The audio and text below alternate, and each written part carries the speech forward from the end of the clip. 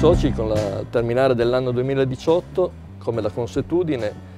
a nome del Consiglio di amministrazione della cooperativa ho il piacere di porgervi gli auguri per un buon fine anno, per una buona festività natalizia. È stato il 2018 un anno importante per la cooperativa che è cresciuta, ha sviluppato nuove iniziative, si è consolidata nel mercato piemontese e questo l'ho potuto realizzare grazie al rapporto proficuo che ha con i propri soci, con le attività che sviluppiamo nei nostri presidi sociali, di cui naturalmente la comunità che ospita i nostri negozi beneficia in maniera importante e quindi davvero con grande piacere che vi faccio gli auguri, faccio gli auguri alle vostre famiglie di una buona chiusura dell'anno, di un felice 2019 sperando in una stagione di nuovi successi per la nostra cooperativa.